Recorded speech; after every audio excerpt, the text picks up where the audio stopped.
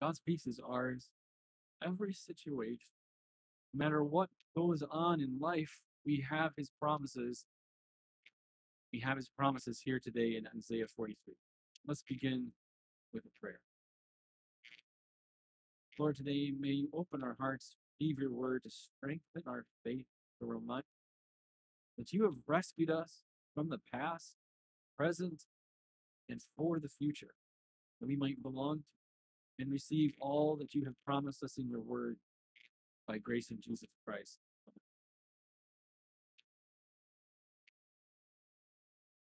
Sure, you know the verse that says, All scripture is God breathed, useful for teaching, correcting, and training in righteousness, so that we may be equipped for every good work.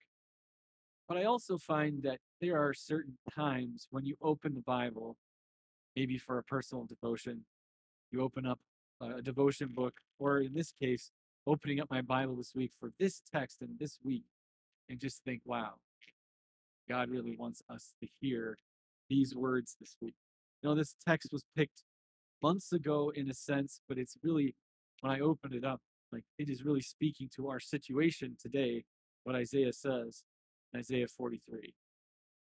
Because there's a lot going on. There's a lot to think about this week. Things are coming fast, furious.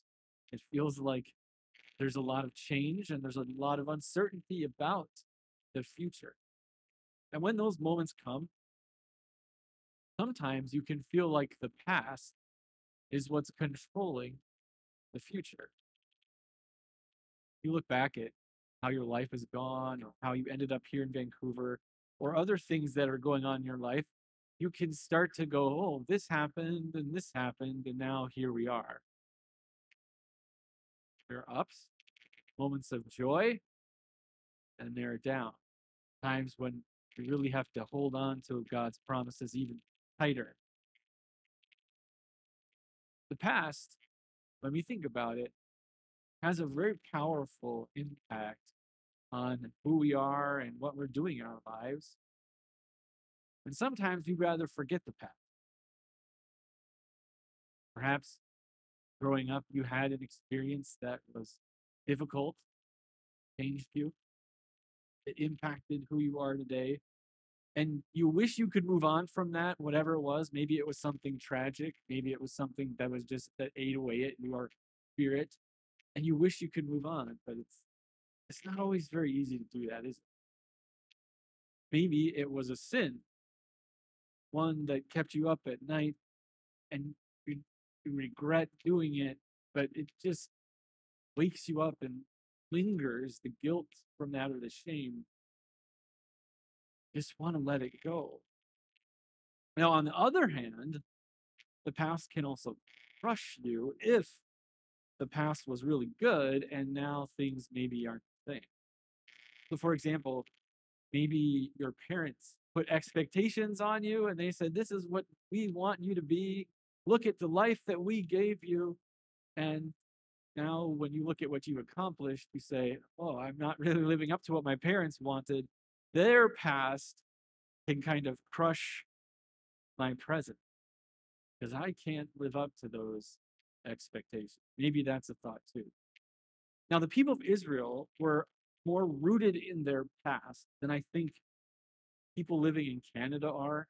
Our country, for at least here in Canada, is not all that old, only 150 plus years as a nation, if you will. There were people here long before that, but we don't have this rich past like even Isaiah had when he wrote the words we have today. He's talking about the past, about a moment of glory when God brought his people through the Red Sea with Moses leading. It was a glorious moment in Israel's history, one that the people remembered again and again. And you maybe have noticed when you read the Old Testament from time to time that whenever some big thing happens, they have this long speech they recount all of their history and they recount Abraham and Isaac and Jacob and then they recount going through the Red Sea. Again and again, we hear this story come up in the Old Testament, And it's a way of saying that the people of Israel were deeply connected and rooted to their past. But now, now as Isaiah's writing words, the present, the future, not looking so good. They were a nation in decline. They were under threat from bigger empires with bigger armies. And God had already warned them because people before their generation had constantly been turning away from him. He said, If you don't repent, you're going to go into exile. Scary threat. And so the future didn't look as bright. And that golden pass, Moses and the people going through the Red Sea, now it, it can almost be like a crushing story because we can't live up to that. We don't see God's hand in the same way today. But as we look at these words, God is reminding them of that glorious past, but He has a new thought for them and for us today. I hope and encouraging because God needs to rescue us from our past, the past sins that we have, the expectations we didn't live up to, a past that crushes us in our spirits, the one that just we can't let go of. And the Lord does exactly that in this story today, or these verses of encouragement from Isaiah 43. Let's read it. This is what the Lord says He who made a way through the sea, a path through mighty water, who drew out the chariots and horses, the army and reinforcements together, and they lay there, never to rise again, extinguished and snuffed out like a wick. Forget the former thing. Do not dwell on the past. See, I am doing a new thing. Now it springs up. Do not perceive it? I am making a way in the wilderness. Streams and waste. The wild animals honor me, the jackals, owls, because I provide water in the wilderness and streams in the wasteland to give drink to my people, mine chosen. People I formed for myself, that they may proclaim my praise. rather powerful that as God's talking about the past and trying to encourage his people, he does so by first bringing up the past and that most glorious story of all when the people went through the Red Sea with Moses and how he had saved them. And the fact that he just mentioned it, I'm sure, brought up all the memories that they had learning about it in their version of Sunday school, just as you do when you hear about it as well. as a Westerner, I think it's harder for me to connect with the past because our culture is always about new things all the time and not appreciating or connecting to our ancestors or the people who have gone before us. Maybe we don't feel quite as crushed as the Israelites might have felt. But that doesn't mean the past isn't tricky for us, that it can't come back to haunt you that when the good old days are gone and we are wondering what's next, it can be hard. There's a lot of guilt, regret, shame with the past. But don't forget the past with the people of Israel either. I mean, yes, it was a glorious moment when God brought them through the Red Sea, but but you've read that story, I bet. And do you remember how the people of Israel were as they were standing on the edge of the Red Sea. They had come through the desert. Moses led them there. Actually, it was God who led them there with that pillar of fire by night and cloud by day. And as they stood at the edge of the Red Sea with mountains all around them, there was a big army with chariots, superior military power coming after them. And they were afraid. They were grumbling and complaining and moaning against Moses. There was no trusting in God in that moment. The people who lived in that story struggled following God just as much, and if not more, than the people in Isaiah's day or as you and I. When the past comes out, may not always be good. It's kind of like one of those social media posts that maybe you put up a while back. Maybe it's one of those pictures that you'd rather not have on the internet anymore. A little bit embarrassing if somebody sees that picture and you want to delete it and get rid of the past. The problem is, is that God knows everything. He knows everything like your social media posts that never get taken away. God can remember with HD 4K vision quality every single thought, every single deed, every embarrassing thing you've ever done. He has it all and he can see it perfectly. But that's not what this text is about. In fact, this is what God, what makes this text so amazing, because God says, Forget the former things, do not dwell on the past. See, I am doing a new thing. Now it springs up. Do you not perceive it? I'm making a way in the wilderness, streams in the waste. In other words, the Lord is saying, whatever the past was, there comes a time when you should take a match and light it and burn it all down because it doesn't matter. God wants our past to go away. It's the reason he sent Jesus, if you will, because Jesus came specifically because our past is so messed up that he had to take all of that, all of the embarrassment and shame and guilt to the cross.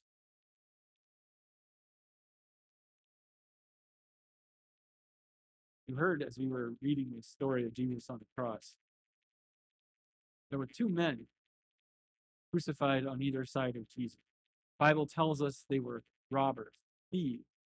And so, because we don't know their names, they have been remembered in history as the thief, the thieves on the cross next to Jesus. One of them was making fun of him. Save yourself and us, Jesus, if you're the Christ. But the other guy, he would rather not remember his past. And when he looked over at Jesus, he realized why Jesus was there. The only person in the story before the cross who put his trust in Jesus. He said, Jesus, remember me when you come into your kingdom. What that thief needed is that Jesus would forget his past, but remember him not forget him when he's in his kingdom, that he might be welcomed as a forgiven child of God. What joy that Jesus would say to this man who, who probably wanted to forget his past. It's the reason he was on a cross, too. Tell you the truth, today you will be with me in paradise. Jesus wasn't going to remember him as a thief but as someone who would live with him in this new place, this paradise that we call heaven. Now, if you need any proof that that's what God is getting at here in this text, urging us to remember that he came to get rid of the past.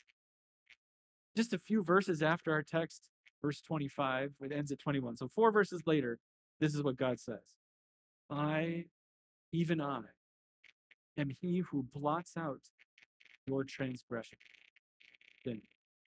for my own sake and remembers your sin no more. What a strange thought. That God, who knows everything, every detail of your life, because of Christ, says, You don't remember your sins. What sins are you even talking about? God takes those sins and puts them out of his memory he forgives and forgets in the best possible way. You or I, we were could be standing at that Red Sea with the children of Israel, and the Egyptian army is bearing down on us.